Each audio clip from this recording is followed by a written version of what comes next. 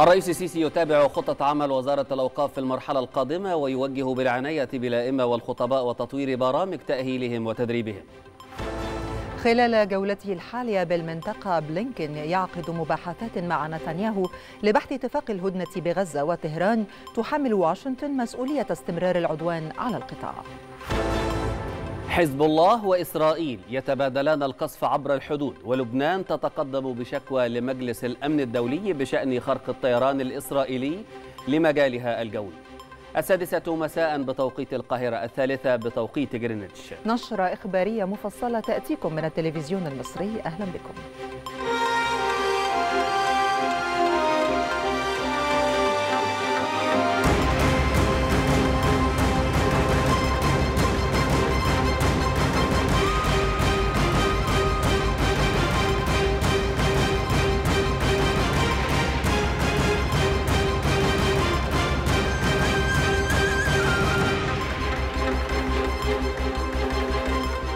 وجه الرئيس عبد الفتاح السيسي بالعناية بالأئمة والخطباء وتطوير برامج تأهيل وتدريب الأئمة التي تتم بغرض تأهيلهم دعويا وعلميا وثقافيا على يد كبار المتخصصين في مجالات علوم الدين والدراسات الإنسانية والاجتماعية والثقافية. جاء ذلك خلال اجتماع مع رئيس مجلس الوزراء مصطفى مدولي ووزير الأوقاف أسامة الأزهري حيث قال متحدث الرئاسة أن الاجتماع تناول خطة عمل وزارة الأوقاف خلال المرحلة المقبلة. اجتمع السيد الرئيس عبد الفتاح السيسي مع كل من الدكتور مصطفى مدبولي رئيس مجلس الوزراء والدكتور أسامة الأزهري وزير الأوقاف. وأوضح المتحدث الرسمي باسم رئاسة الجمهورية أن الاجتماع تناول خطة عمل وزارة الأوقاف خلال المرحلة المقبلة من خلال محاورها الأربعة المتمثلة في مواجهة التطرف الديني والإرهاب بكافة صوره وكذا التطرف اللاديني وتراجع القيم الأخلاقية وتعزيز عمليتي بناء الإنسان وصناعة الحضارة. وقد أشار السيد وزير الأوقاف في هذا السياق إلى أن الوزارة تهدف إلى مواصلة وتعزيز عملية تشكيل الوعي الديني السليم بما يسهم في بناء شخصية الإنسان المصري في إطار الجهود الشاملة للدولة لتجديد الخطاب الديني وتطوير آلياته لا سيما بالاعتماد على وسائل الاتصال الحديثة للوصول لأكبر عدد من المتلقين. إلى جانب العمل الميداني بالتواصل المباشر مع المواطنين وتعزيز دور المرأة في مجال الوعظ والإرشاد وشرح المبادئ الوسطية للإسلام.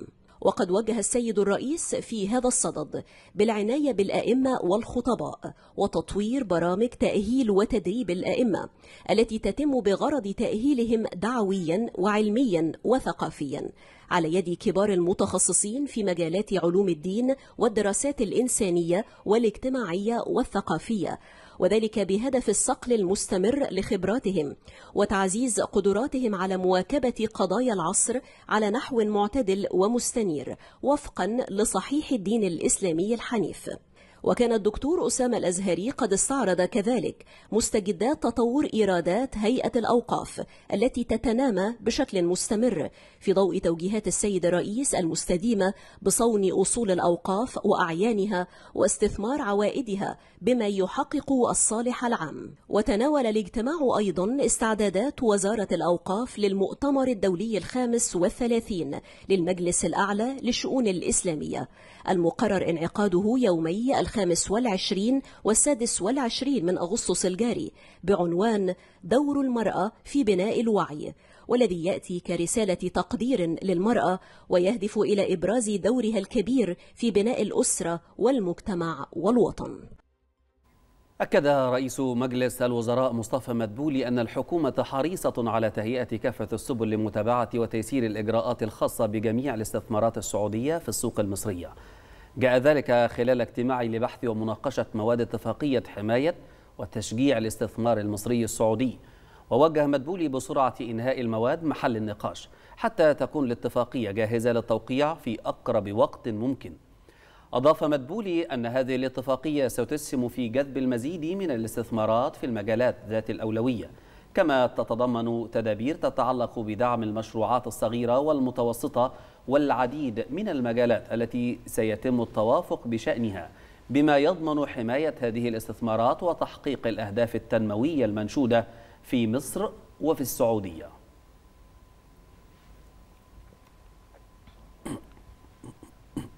ترأس رئيس مجلس الوزراء مصطفى مدبولي اجتماعا لمتابعة ما يتم اتخاذه من خطوات في إطار تيسير إجراءات التصالح في مخالفات البناء حيث شهد الاجتماع عرض بعض التوصيات التي تسهم في الاسراع بالإجراءات الخاصة بالتصالح ووجه رئيس الوزراء بالتوافق على هذه الإجراءات لبدء العمل بها.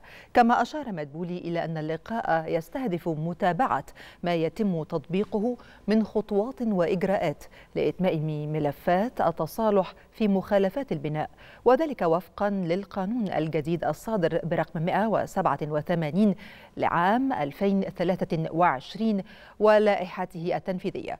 وكذا ما يتم إتاحته من تيسيرات من شأنها أن تسهم في التعامل مع أي مشكلات أو تحديات تواجه عملية تطبيق القانون وصولا لتسهيل الإجراءات على المواطنين وسرعة حصولهم على الأوراق والمستندات الدالة على البت في طلبات وإجراءات التصالح الخاصة بهم.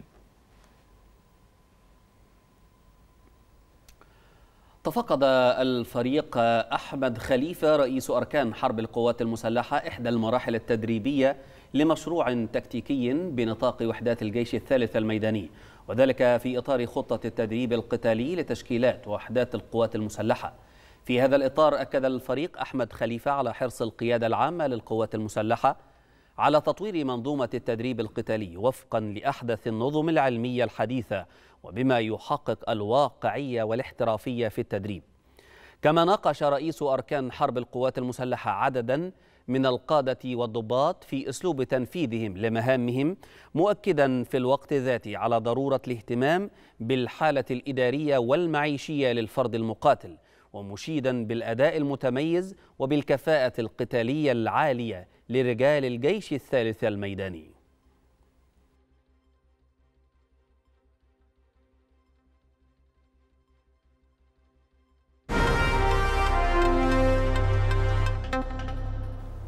أكد وزير الخارجية والهجرة بدر عبد العاطي موقف مصر الرافض لأي شكل من أشكال تهجير الشعب الفلسطيني أو تصفية القضية الفلسطينية. جاء ذلك خلال جلسة مباحثات مع نظيره السعودي فيصل ابن فرحان وذلك خلال زيارته الحالية للعاصمة السعودية الرياض حيث شدد عبد العاطي على ضرورة انسحاب إسرائيل من الجانب الفلسطيني من معبر رفح. كما أشاد بالجهود المبذولة لسرعة تدشين المجلس التنسيقي الأعلى المصري السعودي. وبحث الوزيران أيضا آخر المستجدات المتعلقة بعدد من القضايا والملفات الإقليمية بما في ذلك الأزمة السورية حيث تم الاتفاق على أهمية مواصلة جهود لجنة الاتصال الوزارية العربية المعنية بسوريا. كما ناقش الجهود الجارية لحل حالة الأزمة السودانية والمساعي الحثيثة لوقف الصراع الدائر كما تطرق الوزيران إلى الوضع في منطقة القرن الإفريقي والتطورات على الساحة اليمنية وأمن البحر الأحمر.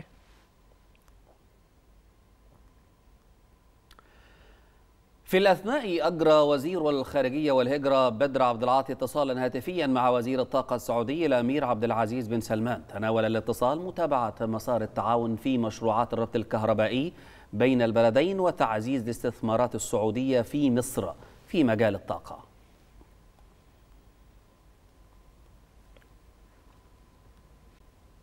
تحتفل مصر والعالم في التاسع عشر من أغسطس من كل عام باليوم العالمي للعمل الإنساني. وأكدت مصر بهذه المناسبة إيمانها الراسخ بالإنسانية والحيادية وعدم الانحياز والنزاهة والاستقلالية وعدم التسييس كمبادئ أساسية عامة للعمل الإنساني. هذا ويتزامن اليوم العالمي للعمل الإنساني هذا العام مع الكارثة الإنسانية التي يشهدها قطاع غزة. حرصت مصر منذ بداية الحرب على على تقديم يد العون للأشقاء في فلسطين لتخفيف معاناتهم وتوفير الاحتياجات الإنسانية العاجلة لهم.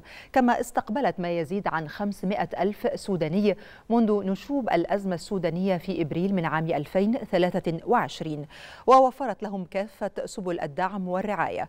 وذلك بالإضافة إلى خمسة ملايين سوداني آخرين يقيمون بالفعل في مصر.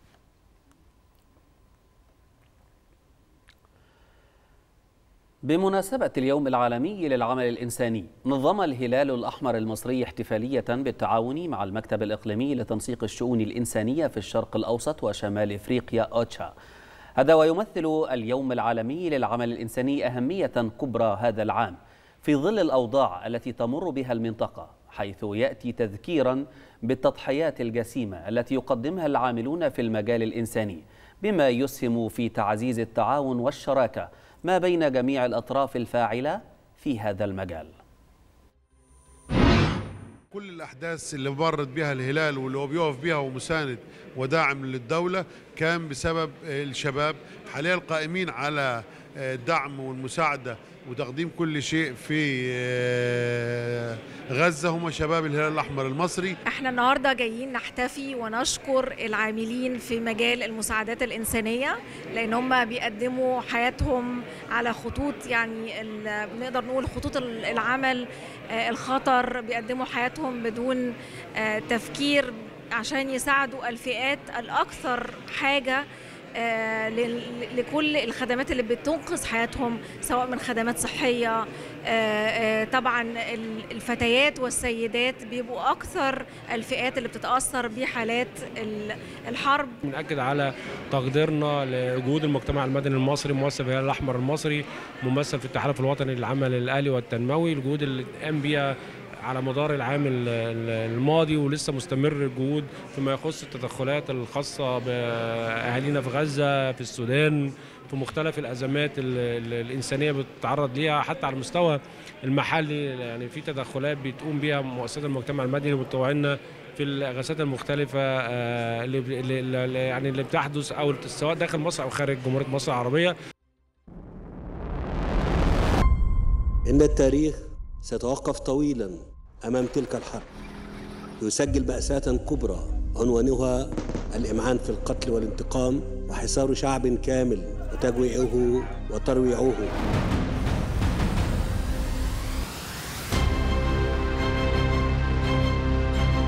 اؤكد مجددا أن مصر ستظل على موقفها الثابت فعلا وقولا برفض تصفية القضية الفلسطينية. واهم من يتصور أن الحلول الأمنية والعسكرية قادرة على تأمين المصالح أو تحقيق الأمن. عقد رئيس الوزراء الإسرائيلي بنيامين نتنياهو اجتماعا مع وزير الخارجية الأمريكي أنتون بلينكن استمر لثلاث ساعات. وصف مكتب نتنياهو اللقاء بأنه كان إيجابيا مشيرا إلى أن نتنياهو أكد التزام إسرائيل بالمقترح الأمريكي الأحدث بشأن إطلاق سراح المحتجزين. وأوضحت مصادر صحفية أمريكية أن نتنياهو أبلغ بلينكن أنه سيرسل وفد التفاوض إلى القاهرة في وقت لاحق هذا الأسبوع لاستكمال مفاوضات الهدنة.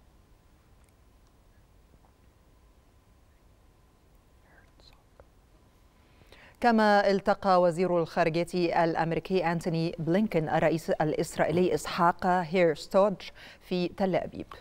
حذر بلينكن من أن المفاوضات الجارية بشأن هدنة إنسانية في قطاع غزة هي ربما آخر فرصة للتوصل إلى وقف إطلاق نار في الحرب الإسرائيلية المستمرة منذ أكثر من عشرة أشهر.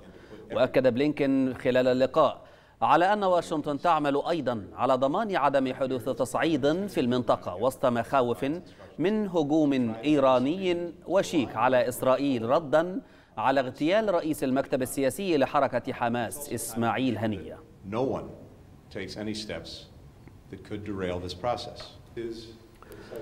رحبت طهران بالجهود المبذولة لوقف إطلاق النار في قطاع غزة وأوضحت وزارة الخارجية الإيرانية أن الإدارة الأمريكية تملك القوة اللازمة لوقف الحرب الإسرائيلية على غزة لكنها لم تفعل ذلك حتى الآن مشيرة إلى أن الأمر بات في يد واشنطن لتثبت أنها جادة في وقف إطلاق النار وإنهاء الحرب بغزة. كما لفت إلى أن طهران لا تسعى إلى تصعيد التوتر في المنطقة وتدعم جهود وقف إطلاق النار بغزة.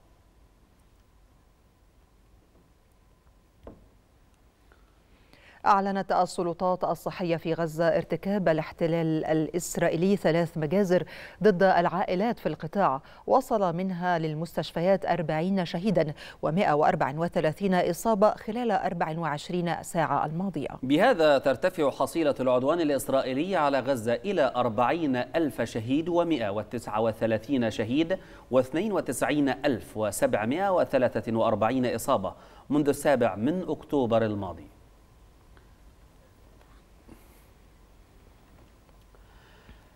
أعلنت وكالة غوث وتشغيل اللاجئين الفلسطينيين الأنروا ارتفاع حصيلة الضحايا العاملين في الوكالة بقطاع غزة إلى 207 منذ بدء العدوان الإسرائيلي على قطاع غزة. وأوضحت الأنروا أن الضحايا كانوا من مختلف التخصصات بما في ذلك الأطباء والمهندسين والمعلمون. في الأثناء دعا مركز حماية الصحفيين الفلسطينيين إلى تدخل دولي عاجل لوقف الإمعان الإسرائيلي في استهداف الصحفيين في قطاع غزة. ونعى المركز الصحفي إبراهيم مروان الذي عثر على جثمانه اليوم بعد إصابته برصاص جيش الاحتلال الإسرائيلي أمس. أثناء تغطيته الصحفية في مدينة خان يونس جنوبي القطاع. وذلك إثر استهداف الاحتلال لمجموعة من الصحفيين.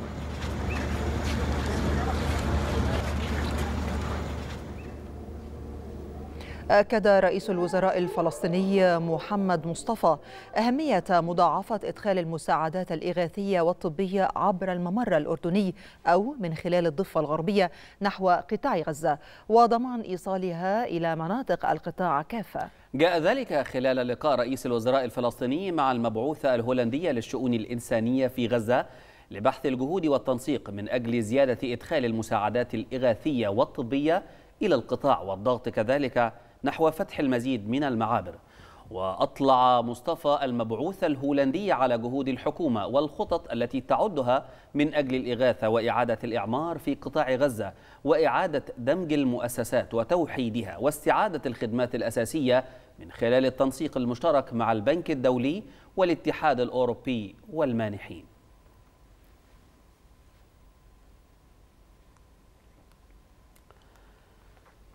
قلصت قوات الاحتلال الإسرائيلي عدد الشاحنات التي عبرت من معبر رفح البري باتجاه منفذ كرم أبو سالم. حيث بلغ عدد الشاحنات اليوم أربع شاحنات تحمل مشتقات بترولية وتحديدا من مواد الغاز. والمزيد يطلعنا عليه الزميل رامي محمد مراسل التلفزيون المصري.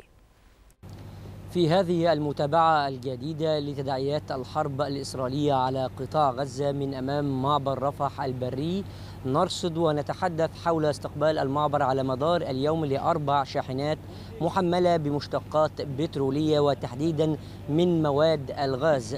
هذه الشاحنات القليلة على مدار اليوم إن دلت تدل على استمرار السياسة التعسفية والتعنت الإسرائيلي سواء في الإجراءات من تباطؤ ورفض وإغلاق في أحيان كثيرة أمام الشاحنات المحملة بالمواد الغذائية والإغاثية وأيضا المواد والأدوات الطبية للعلاج إلى المدنيين في قطاع غزة. هذه الحالة من التعنت يمكن تحدث عنها العديد من المنظمات والمؤسسات الأممية والدولية وتحديدا مكاتب الأمم المتحدة المخصصة لشؤون تنسيق المساعدات الإنسانية حول أنها انخفضت بنسبة تجاوزت الثمانين بالمئة عن مايو الماضي وذلك متجسد خلال الأيام السابقة في أيام إغلاق وأيام تباطؤ وأيام قلصت قوات الاحتلال الإسرائيلي أعداد الشاحنات التي دخلت إلى قطاع غزة وتحديدا من المواد الإغاثية والغذائية هذا المشهد يتزامن مع استمرار سماع على مدار اليوم دو انفجارات متعددة في أماكن متفرقة داخل القطاع وهناك عدد من الأدخنة وأيضا سقوط المزيد من الشهداء نتحدث عن قصف كثيف. وأيضا كبير إلى عدد من الأماكن المتفرقة داخل قطاع غزة سواء في الوسط جنوب النصيرات أو أيضا بعض الأحياء منها الزيتون وأيضا الأحياء المتعددة في جنوب القطاع. وذلك أدى إلى سقوط المزيد من الشهداء والجرحى والذين يقدر عددهم بأكثر من أربعين ألف شهيد منذ اندلاع هذه الحرب وأيضا أكثر من تسعين ألف مصاب منذ اندلاع الأيام السابقة خلال هذه الحرب. ونحن الآن نتحدث هناك سماع لدو انفجارات العديدة في أماكن متفرقة من الجنوب وقريبة من موقعي هذا. هذه الأصوات على مدار اليوم لم تنقطع سواء من القصف والغارات الإسرائيلية المستمرة على جنوب قطاع غزة. هذه الصورة بشكل كبير وإليكم الكلمة.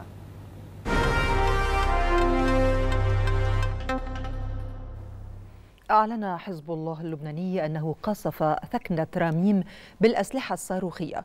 وأوضح حزب الله أنه حقق إصابة مباشرة في المقابل أفادت وسائل إعلام إسرائيلية بأن هناك أضرارا في عدد من المنازل والسيارات إثر سقوط صاروخين على مستوطنة مارغليوث شمالي إسرائيل. في الأثناء أعلن جيش الاحتلال مقتل جندي وإصابة آخر بجروح خطيرة في شمال إسرائيل إثر هجمات حزب الله على المنطقة مشيرا إلى أنه اعترض عدة هجمات بطائرات مسيرة على شمال إسرائيل بالقرب من الحدود مع لبنان.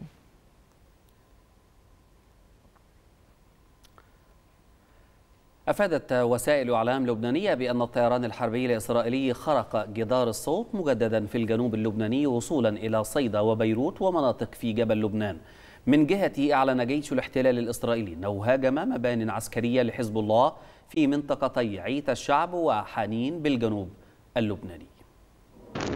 حالة من القلق المتزايد تشهدها الحدود اللبنانية الإسرائيلية في ظل استعدادات تل أبيب لردود فعل محتملة من إيران وحزب الله بعد سلسلة الاغتيالات الأخيرة ووسط مخاوف إقليمية ودولية من اتساع رقعة الصراع وجر المنطقة إلى حرب شاملة. الطيران الإسرائيلي شن عدة غارات ليلية على عدد من المناطق بالجنوب اللبناني استهدفت بلدة حولة في قضاء مرجعيون بالنبطية وأطراف بلدة عيت الشعب وبلدة بيت ليف أسفرت عن سقوط عدة أشخاص وعلى الجانب الآخر لا يتوقف دوي صافرات الإنذار للتحذير من سقوط صواريخ حزب الله التي تستهدف مستوطنات الشمال مما أدى إلى إلحاق أضرار جسيمة في البنية التحتية لتلك المستوطنات. ويأتي هذا بعد أن أطلق حزب الله أكثر من أربعين صاروخا نحو شمال إسرائيل حيث أكد الحزب استهداف مواقع عسكرية إسرائيلية عدة بما في ذلك جبل الدير وقاعدة جبل نيريا بصواريخ كاتيوشا. من جهته قال متحدث باسم قوة الأمم المتحدة المؤقتة في لبنان اليونيفيل إن ثلاثة من جنود حفظ السلام التابعين للقوة أصيبوا بجروح طفيفة عندما وقع انفجار بالقرب من آليتهم في محيط يارين بجنوب لبنان. في غضون ذلك أعرب مكتب الأمم المتحدة لتنسيق الشؤون الإنسانية عن قلقه العميق إزاء ارتفاع عدد القتلى المدنيين والنزوح المتزايد نتيجة تصاعد الأعمال العدائية على طول الخط الأزرق بين لبنان وإسرائيل.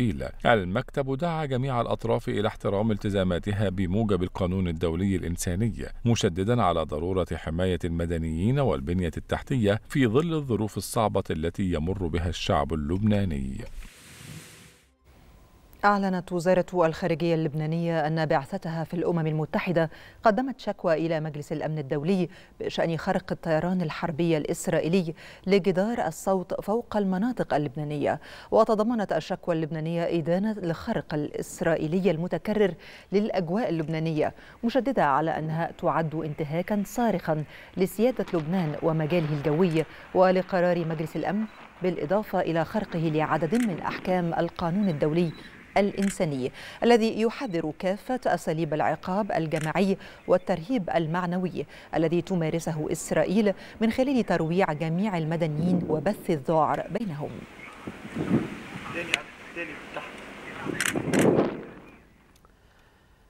أعلنت لوفتهانزا كبرى شركات الطيران الأوروبية أنها ستمدد قرار تعليق رحلاتها إلى الشرق الأوسط حتى السادس والعشرين من أغسطس بسبب تزايد مخاطر تفاقم النزاع في المنطقة.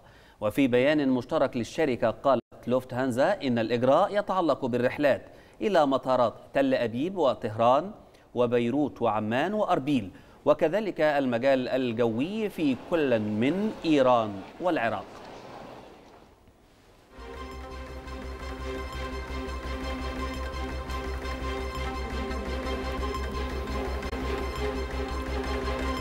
ما زالت مشاهدينا الكرام أخبار نشرة السادسة تتواصل مع حضراتكم من على شاشة التلفزيون المصري وتتابعون فيه.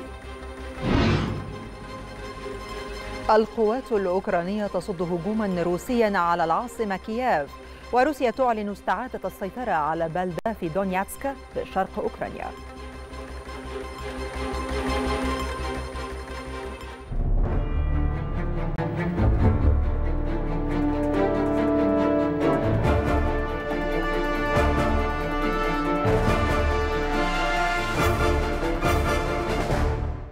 أعلنت القوات الجوية الأوكرانية صد هجوم روسي على العاصمة كييف.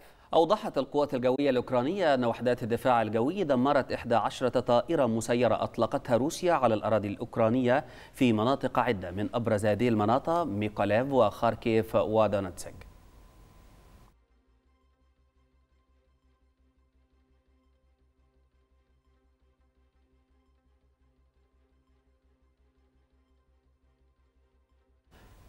أعلن الجيش الروسي سيطرته على بلدة زاليازني القريبة من توريتسك في منطقة دونتسك بشرق أوكرانيا.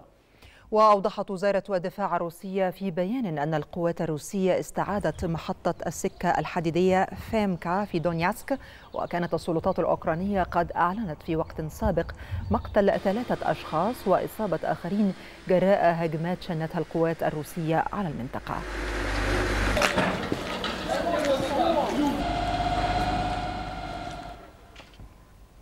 أعلنت الشركة الأوكرانية المشغلة لشبكة الكهرباء ووزارة الطاقة أنها ستعود لقطع التيار الكهربائي مجددا عن بعض العملاء بسبب نقص التوليد جراء الهجمات الروسية على الشبكة فضلا عن تزايد الاستهلاك بسبب الطقس الحار. كانت السلطات الأوكرانية قد وضعت قيودا واسعة النطاق على إمدادات الطاقة في يوليو الماضي بسبب إصلاحات في العديد من وحدات الطاقة النووية الرئيسية بالتزامن مع ارتفاع غير مسبوق في درجات الحرارة كما كثفت روسيا من هجماتها بالصواريخ والطائرات المسيرة على قطاع الطاقة في أوكرانيا ما تسبب في انقطاع التيار الكهربائي عن العديد من المناطق وأجبر كييف على بدء استيراد الكهرباء على نطاق واسع من الاتحاد الأوروبي.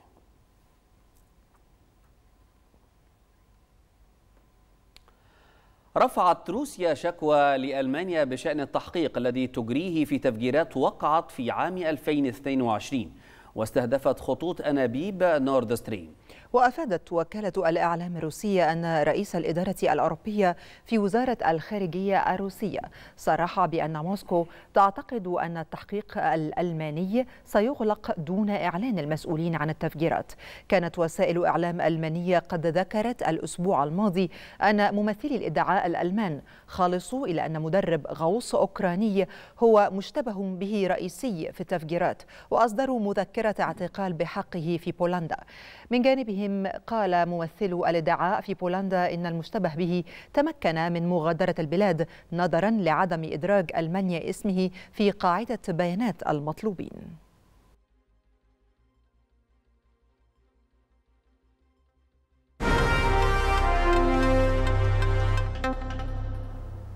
يعقد الحزب الديمقراطي الأمريكي مؤتمر الحزب الهادف لدعم مرشحة الرئاسة كاميلا هاريس.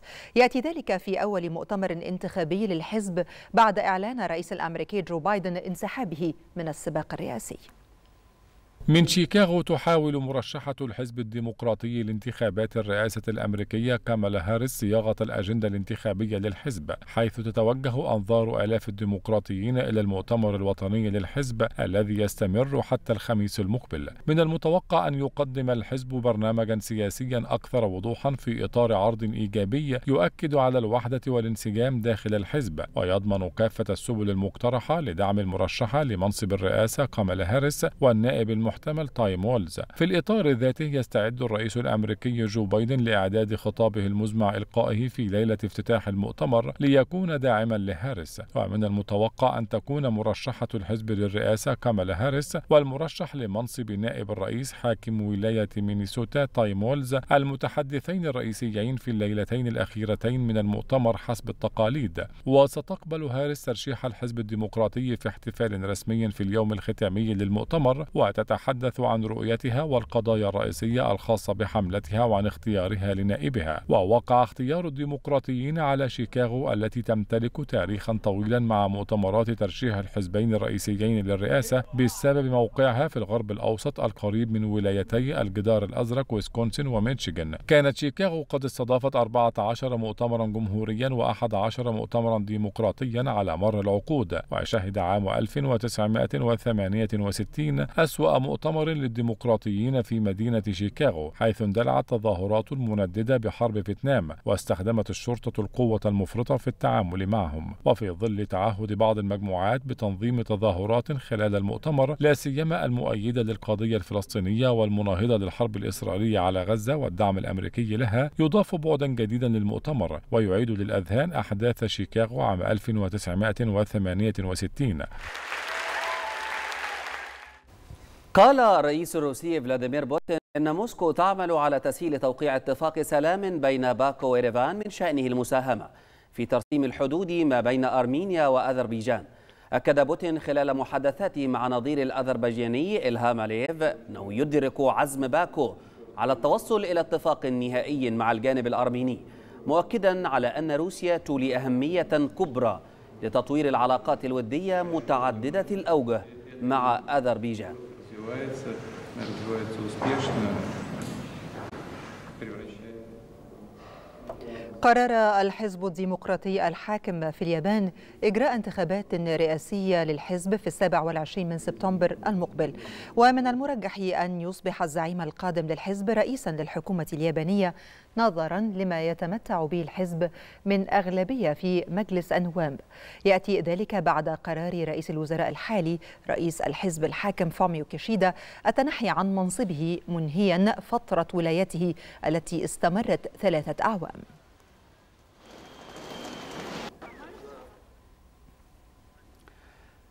أكد خفر السواحل الصيني أن سفينة فلبينية تجاهلت تحذيراته المتكررة واصطدمت عمدا بسفينة صينية بطريقة غير مهنية وخطيرة. أوضح المتحدث باسم خفر السواحل الصيني جان يو أن نفس السفينة الفلبينية دخلت للمياه القريبة من جزر ساكند توماس تول بعد منعها من دخول مياه جزر سابينا. هذا وأشار المتحدث أيضا إلى أن سفينتين تابعتين لخفر السواحل الفلبيني دخلتا بشكل غير قانوني إلى المياه المجاورة لتلك الجزر دون إذن مسبق.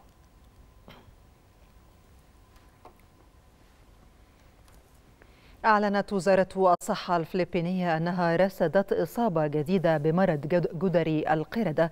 هي الأولى منذ ديسمبر من عام 2023 كما أعلنت وزارة الصحة الباكستانية رصد حالة إصابة بالسلالة الثانية من فيروس جدري القردة في البلاد مضيفة أنه لم يتم تشخيص حالات إصابة بالسلالة الأولى من المرض وتتسبب السلالة الثانية وهي متحور جديد من الفيروس في مخاوف عالمية لأنها تنتشر بسهولة فيما يبدو من خلال المخالطة الروتينية.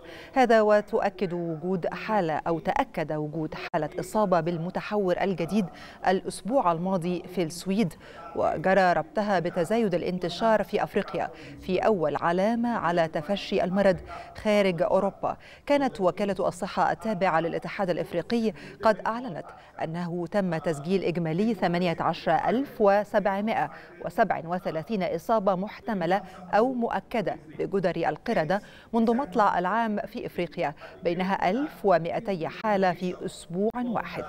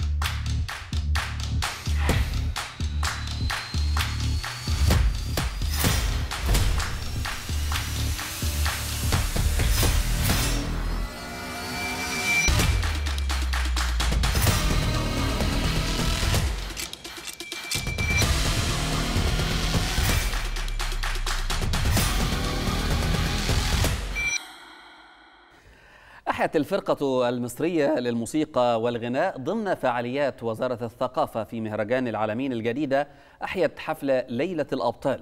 وذلك في إطار احتفاء الشركة المتحدة للخدمات الإعلامية بأبطال الأولمبياد المصريين الفائزين والمشاركين في أولمبياد باريس على المسرح الروماني بالمدينة التراثية. بمدينة العلمين الجديدة. قدمت الفرقة المصرية للموسيقى والغناء عددا من الأغنيات الوطنية في حضور أبطال الأولمبياد أحمد الجندي وسارة سمير ومحمد جبر وعبد اللطيف منيع وكريم أبو كحلة ومحمد السيد.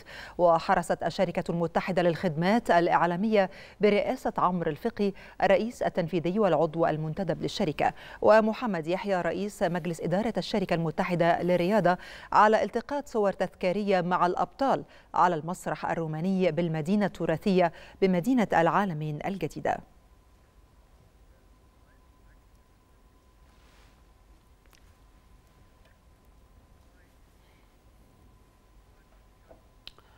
للمزيد من المتابعة عن فعاليات مهرجان العالمين الجديدة ينضم إلينا مباشرة الزميل محمود جميل مراسل التلفزيون المصري. محمود بعد التحية لك. الأجواء لديك يعني تخطف الأنظار مباشرة بهذا الجو الساحر في مدينة العالمين الجديدة بما تحتويه من أنشطة وفعاليات جذبت العديد من أنظار العالم وأيضا من المواطن المصري. كل التحية لك مصطفى وأيضا تحية لسارة ولكل السادة المشاهدين. أجواء ساحرة وفعاليات متنوعة وهذه الأجواء ساعدت على مدى الإقبال الشديد من الزائرين ورواد مهرجان العالمين الجديدة على كل الفعاليات المختلفة والمتنوعة في مدينة العالمين الجديدة. لكن دعني أحدثك عن الليلة الماضية التي كانت ليلة رياضية فنية وتكريم للأبطال الأولمبيين الذين تواجدوا على أرض مدينة العالمين الجديدة. وحرصت الشركة المتحدة للخدمات الإعلامية على الاحتفاء والاحتفال بهم بالأمس من خلال وجودهم وأيضا إقامة الحفل الذي أقامته الفرقة المصرية للموسيقى والغناء على المسرح الروماني بالمدينة التراثية تعبيرا عن يعني مدى التقدير والتكريم لهؤلاء الأبطال الذين رفعوا اسم مصر في الأولمبياد في باريس. الأبطال بالأمس عبروا عن مدى سعادتهم بتواجدهم في مدينة العالمين وفي مهرجان العالمين الجديدة ووجهوا الشكر للرئيس عبد الفتاح السيسي بالاهتمام بالرياضة وبالرياضيين خاصة الأولمبيين. فكانت ليلة رياضية فنية الجميع استمتع بلقاء الأبطال وأيضا الفقرات الفنية المختلفة التي كانت موجودة بالأمس. هذه الفعاليات مستمرة معنا اليوم خاصة في المنطقة الترفيهية التي نتواجد بها حاليا. نتابع وجود عدد من طلاب الجامعات من الوافدين. تعلمون أن الشركة المتحدة تحرص دائما على التعاون بين المؤسسات المختلفة لحضور كل الفئات لمهرجان العالمين الجديدة ولكن هذه المرة نتابع حضور عدد من طلاب الوافدين من فلسطين ومن سوريا ومن السودان ومن السعودية يشاركون في الفعاليات المختلفة يعني من خلفي يشاركون في الفنون التشكيلية وتجسيد مدى الجمال الموجود في مدينة العالمين الجديدة من الأبراج وأيضا من البحر يجسدونه بأقلامهم من خلال الرسومات والفنون التشكيلية المختلفة بالإضافة إلى ملعب كرة القدم الخماسي الذي يستضيف عدد من طلاب هذه الجامعات من الوافدين بالإضافة أيضا إلى كرة الطائرة الشاطئية. فنتحدث عن فعاليات مختلفة تتم في هذه اللحظة التي أحدثكم فيها. نعم. بالإضافة إلى أنه في مساء هذا اليوم سيكون هناك فرق تابعة لوزارة الثقافة وتحديدا فرقة العريش للفنون الشعبية. سيقدمون عدد من التراث السيناوي وعدد من الفنون الشعبية المختلفة خاصة أن هذه الفرق أو هذه الفقرات الفنية يعني يكون بها عدد كبير من الحضور الجماهيري خاصة نعم من محمود. الأسر والعائلات بالإضافة إلى الفعاليات الرياضية ليلا من العجل وغيره نعم. وبالتأكيد سنتابع معكم كل هذه الفعاليات المتواجدة على أرض السحر والجمال في مدينة العالمين في عجالة سريعة محمود ما تقدمه الشركة المتحدة للخدمات الإعلامية في هذا المهرجان والذي أصبح علامة مضيئة لي في نسختي الثانية أو للسنة الثانية على التوالي أصبح مهرجان العالمين يمثل إضافة كبيرة وقيمة مضافة للخريطة السياحية في مصر كيف ترى هذه الصورة في عجالة سريعة محمود؟ هذه الصورة مصطفى نراها من عدد السائحين والأجانب الذين يتواجدون على أرض مدينة العلمين الجديدة. يعني منذ أسبوع تقريبا أو أكثر عندما تواجد وزير السياحة والأثار هنا تحدث عن أنه يوجد في مدينة العلمين الجديدة 104 من الجنسيات المختلفة في مدينة العلمين. وأنا أحدثك عندما كنت عند في أحد الشواطئ يعني نقوم بتصوير هذه الشواطئ. لاحظنا عدد كبير من السياح الموجودين من مختلف دول العالم الجميع يعبر عن مدى الانبهار الموجود في مدينة العلمين الجديدة وأنها بالفعل أصبحت وجهة سياحية كبيرة تستقطب عدد كبير من الجنسيات وعدد كبير أيضا من المستثمرين حتى الأجانب. فأثناء زيارة وزير الاستثمار كان هناك أحد المستثمرين من المملكة المغربية وتحدث عن أهمية مدينة العلمين كوجهة سياحية في الاستثمار وعملية وجود استثمار استثمارات سياحية قادمة في مدينة العلمين الجديدة. وعندما نتحدث مع المواطنين والزائرين سواء على الممشى السياحي أو في المنطقة الترفيهية ونلاحظ عدد من الجنسيات المختلفة فنحن نعم. نلاحظ وجود عدد كبير من الجنسيات خاصة في الحفلات الفنية التي تقام في اليو أرينا عدد كبير من الجنسيات الذين يأتون خصيصا لحضور هذه الحفلات في مدينة العالمين الجديدة ويعبرون عن مدى جودة وروعة التنظيم في هذه الحفلات وأيضا الأجواء الساحرة في المدينة نعم خاصة. أيضا التنوع في الفعاليات ووجود المسرحيات المختلفة فبالتالي وجهة سياحية تستقطب العديد من الجنسيات المختلفة حول العالم. كل الشكر والتقدير زميلي محمود جميل مراسل التلفزيون المصري. كنت معنا مباشرة من مدينة العلمين الجديدة. شكرا جزيلا لك محمود.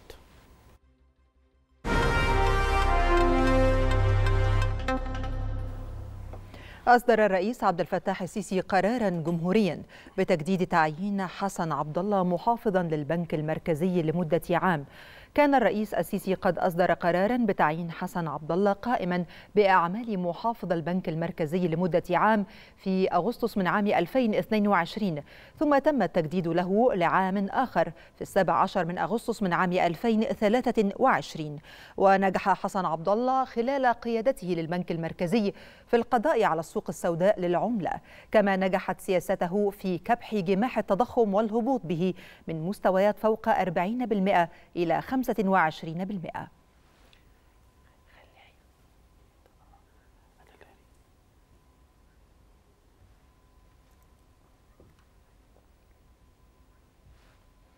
توصلت الدراسات والأبحاث الميدانية إلى أن الأطفال يقضون وقتا أطول على الإنترنت.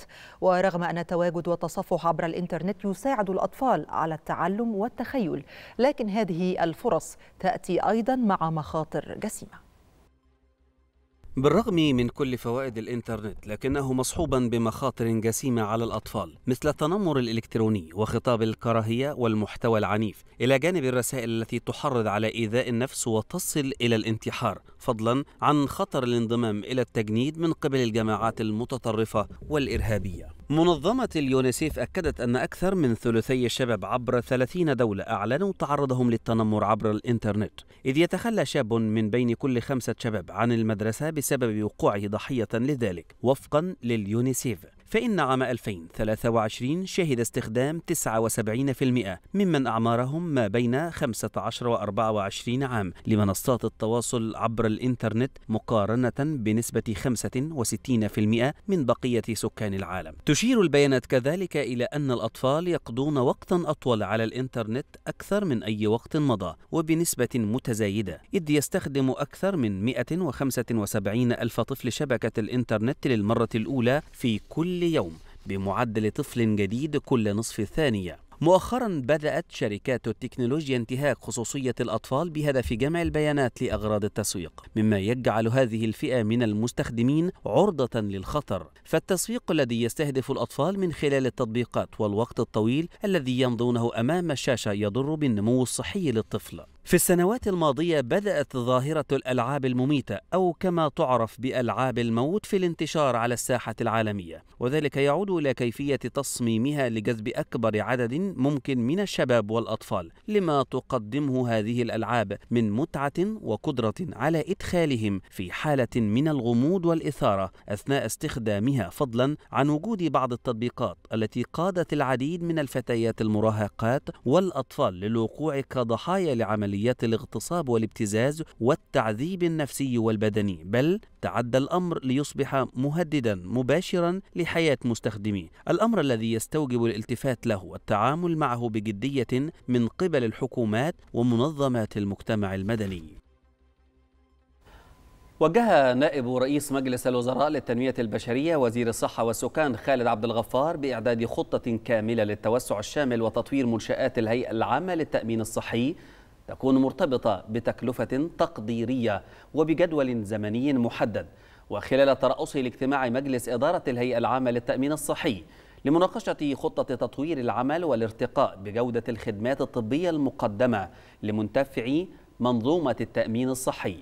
شدد وزير الصحة على أهمية الانتهاء من كافة إجراءات ميكنة وحوكمة العمل في منظومة التأمين الصحي لمنع الهدر في الموارد المادية. واستعرض الاجتماع مقترحات التوسع في منشآت منظومة التأمين الصحي لتخفيف وتيسير حصول المنتفعين على الخدمات الصحية التأمينية سواء عيادات أو مستشفيات ولجان طبية وتشجيع التوسع في الشراكات مع القطاع الخاص لتقديم الخدمات الطبية اللازمة.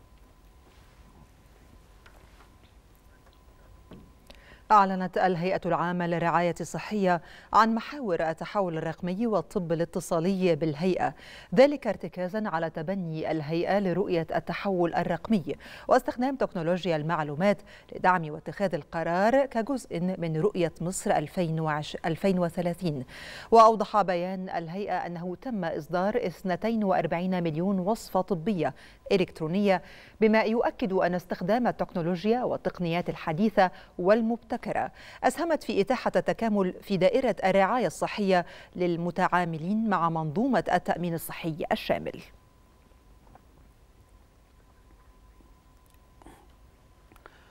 ترأس وزير التربية والتعليم والتعليم الفني محمد عبد اللطيف اجتماعا مع أعضاء وحدة إدارة المدارس المصرية اليابانية. لمناقشة عدد من المحاور المتعلقة بسبل تطوير آليات العمل بها. أكد عبد اللطيف أن الوزارة تولي اهتماما كبيرا بالتوسع في المدارس المصرية اليابانية وفقا للنظام الياباني المطبق بها مشيدا بتجربة اليابان الناجحة في التنشئة الاجتماعية السليمة للطفل المصري وبناء شخصيته وخلق بيئة تعليمية متميزة داخل هذه المدارس. شهد الاجتماع استعراضا لنظام التعليم بداخل المدارس المصرية اليابانية ومدى تطبيق فلسفة التوكاتسو ومقترحات وآراء أعضاء الوحدة حول أهم القضايا المتعلقة بتطوير العملية التعليمية بتلك المدارس في مختلف المحافظات وسبل تذليل المعوقات والتحديات التي تواجه المدارس المصرية اليابانية.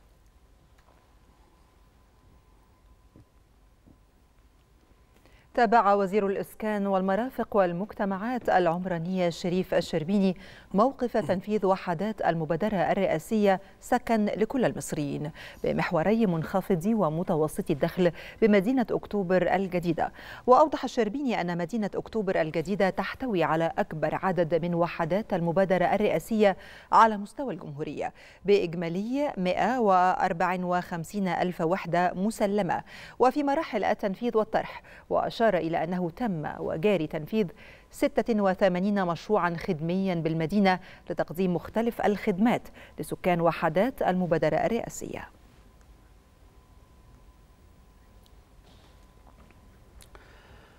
بحث وزير الموارد المائية والري هاني سويلة مع سفير أستراليا بالقاهرة سبل تعزيز التعاون بين مصر وأستراليا في مجال الموارد المائية والري. وتم خلال اللقاء مناقشة التعاون وتبادل الخبرات بين مصر وأستراليا في مجالات الإدارة المستدامة للمياه والتدريب وبناء القدرات. وأعرب وزير الري عن تطلعه لقيام الجانب الأسترالي بتوفير فرص تدريب لمهندسي الوزارة للاستفادة من التكنولوجيا والخبرات الأسترالية في التعامل مع ندرة المياه واستخدام الطاقة المتجددة في مجالات المياه المتعددة كما تم التباحث حول قضايا التغير المناخي وتأثيراتها السلبية على مختلف دول العالم.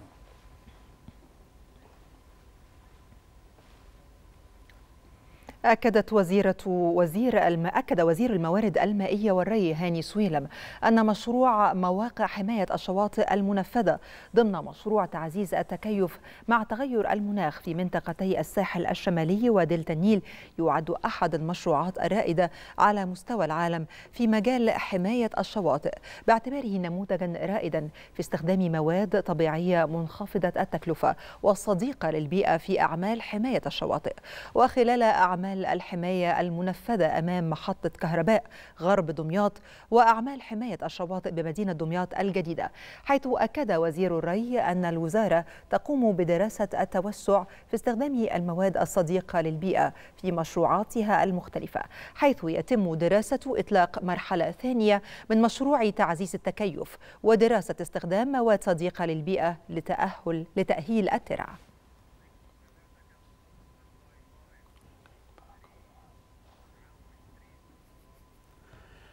ترأست وزيرة البيئة ياسمين فؤاد المائدة المستديرة الأولى بعنوان الظروف السياسية والسياق الاستراتيجي والعالمي في إطار مشاركتها في ورشة العمل الخاصة بتحضيرات الدورة السادسة عشرة لمؤتمر الأطراف للتنوع البيولوجي كوب 16 في مونتريال في كندا. أكدت وزيرة البيئة على دعمها للسلام من أجل الطبيعة وتطلعها للخروج بمبادرة للسلام من مؤتمر التنوع البيولوجي القادم. ترتكز هذه المبادرة على العلم والحقائق التي توضح حجم التدهور في الموارد البيئية والطبيعية كنتيجة للصراعات أسوة بالمبادرة العالمية للمناخ واستدامة السلام التي خرجت من أجندة العمل المناخي في مؤتمر المناخ كوب 27 مشددة على أهمية هذه المبادرة للدول النامية وكذلك أهمية الإعلان الخاص بالسلام والحفاظ على الموارد الطبيعية.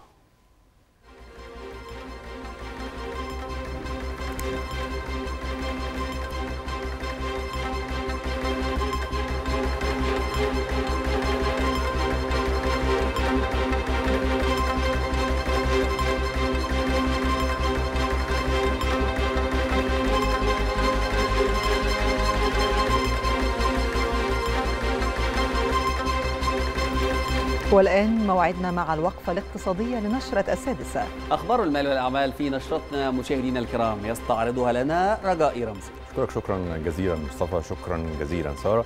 مشاهدينا أخبار المال والأعمال نتابعها وإياكم في هذه النافذة الاقتصادية.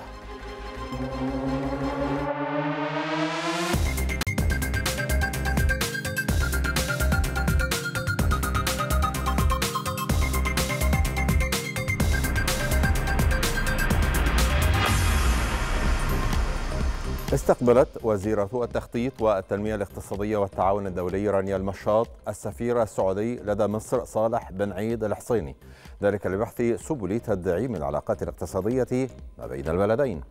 وأكدت المشاط تطلع مصر لتطوير أطر التعاون ما بين البلدين الشقيقين في مختلف المجالات مشيرة إلى حرص الدولة المصرية على تطوير البيئة الاستثمارية وإفساح المجال للقطاع الخاص المحلي والأجنبي.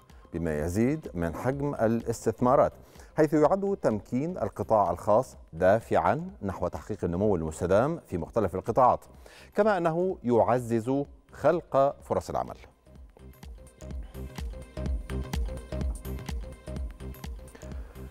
أكدت وزارة التموين والتجارة الداخلية أنه لا مساس بالسكر التمويني المطروح على البطاقات التموينية ولا مساس بالحصة التموينية المقررة لكل فرد على البطاقة التموينية. في بيان لها أوضحت الوزارة أن هناك وفرة وإتاحة وزيادة للمعروض من السلع الأساسية في كافة المنافذ التي تشمل ما يتم طرحه من سلع أساسية في المجمعات الاستهلاكية ومنافذ مشروع جمعية وبقالات التموين. وهو ما يقرب من أربعين ألف منفذ على مستوى الجمهورية. هذا وأشارت الوزارة إلى استمرار طرح كافة الاحتياجات المطلوبة على البطاقات للمواطنين البالغ عددهم 62 مليون مستفيد من منظومة السلع التموينية بما يقرب من 100 ألف طن شهريا تشمل السكر التمويني والحر على البطاقات التموينية وكذلك الحر بالمجمعات الاستهلاكية.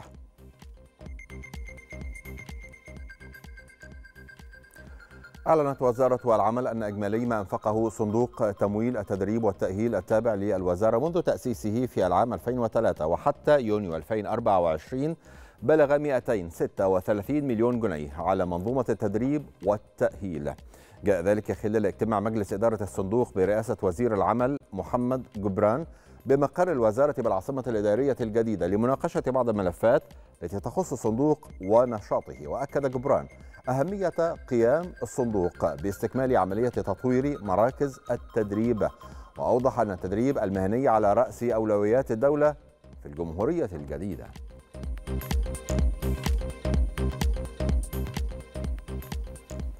عقد وزير قطاع الأعمال العام محمد الشيمي اجتماعا مع ممثلي شعبة صناعة وسائل النقل بغرفة الصناعات الهندسية باتحاد الصناعات المصرية.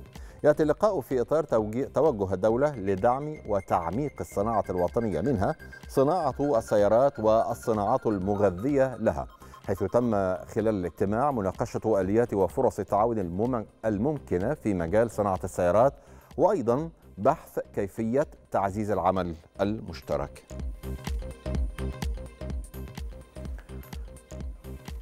أشاد وزير الزراعة علاء فاروق بالجهود التي يبذلها علماء مركز البحوث الزراعية ومركز بحوث الصحراء التي ساهمت في زيادة الرقعة الزراعية وزيادة إنتاجيتها. وأشار وزير الزراعة خلال كلمته في المنتدى الثقافي العلمي الأول لمركز البحوث الزراعية إلى ضرورة اتخاذ إجراءات حاسمة للتكيف مع التغيرات المناخية وأيضا الحد من آثارها السلبية على الإنتاج الزراعي. وأضاف أن الوزارة وضعت في صلب أولوياتها العمل على مواجهة هذه التحديات واتخاذ العديد من الإجراءات التي تهدف إلى التخفيف من آثار التغيرات المناخية.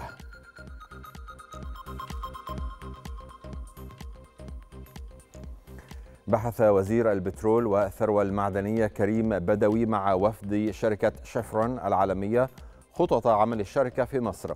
ناقش اللقاء سبل الإسراع بالإنشاء وبالأنشطة وبرامج الحفر في مناطق امتيازها بالبحر المتوسط في مقدمتها.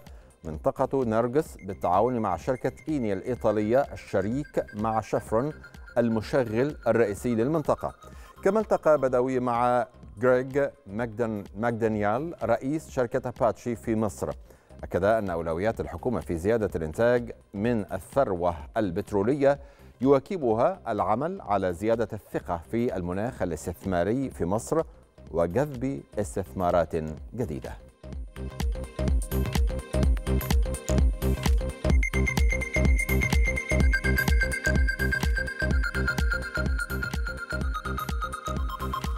شديد نهاية هذه النافذة الاقتصادية. عودة مجددا سارة ومصطفى فإليكما. شكرا لك رجاء رمز.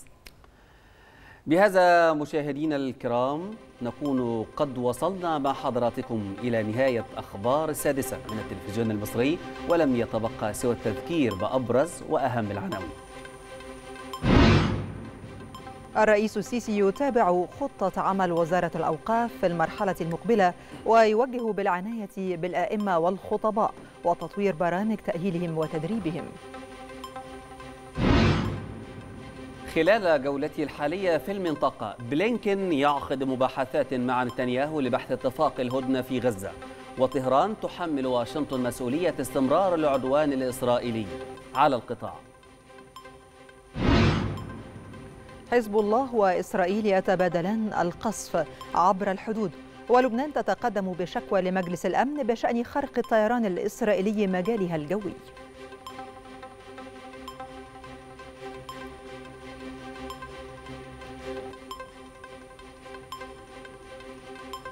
نهاية نشرة السادسة قدمناها لكم من التلفزيون المصري. شكرا لطيب المتابعة مشاهدينا الكرام ودمتم في أمان الله. إلى